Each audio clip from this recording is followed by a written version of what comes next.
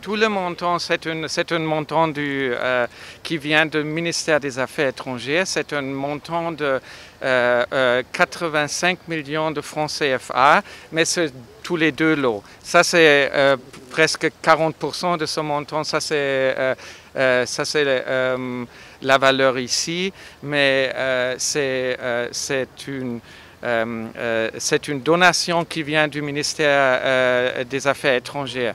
Il faut, ce que j'ai dit dans mon discours, le gouvernement allemand est en train de préparer un programme pour le soutien du Sénégal, mais dans chaque, chaque partenaire allemand qui est déjà présent ici, comme le groupe militaire, ils ont commencé à réorienter, à réadapter leur programme pour, pour faire face à cette situation actuelle.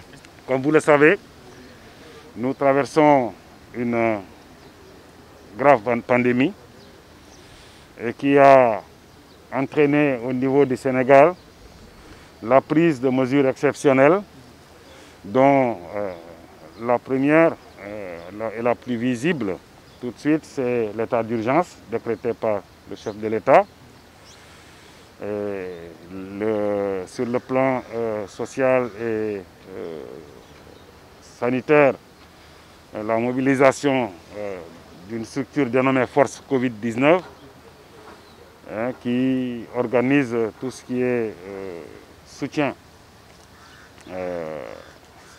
à apporter aux populations pour juguler les effets, pour les effets de cette pandémie. Donc c'est dans ce cadre-là que se situe ce don. D'une part, on a l'État qui a fait un effort budgétaire euh, extrêmement important pour soutenir la population. De l'autre, il y a une solidarité nationale manifestée à travers la mobilisation de beaucoup de structures publiques et privées, ainsi même que des bonnes volontés individuelles, dont le personnel de la gendarmerie, pour hein, concourir à atténuer hein, les effets euh, de la pandémie sur la population.